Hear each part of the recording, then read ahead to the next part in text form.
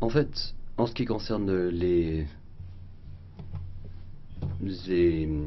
produits essentiels et non aussi essentiels, euh, les entreprises parfois euh, ont de grosses difficultés. Ce qui est autorisé euh, à bord ne l'est peut-être pas dans le cadre du vol retour.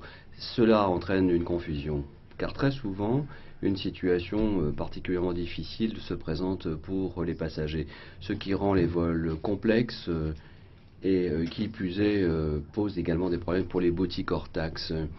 Euh, certains euh, passagers sont obligés de laisser leurs bagages en main, de les mettre au check-in, sont constants. Et très souvent, euh, ce genre de situation est très désagréable.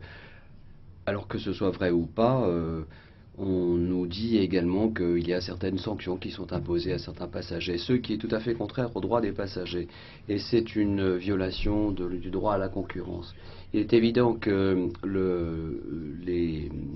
la place qui est prévue pour le stockage des, bagages est limitée. Il faut néanmoins que les compagnies aériennes fixent des limites supérieures pour ces bagages à main, ce qui rendra les choses beaucoup plus claires et sauront euh, ces passagers dorénavant ce qu'ils pourront utiliser.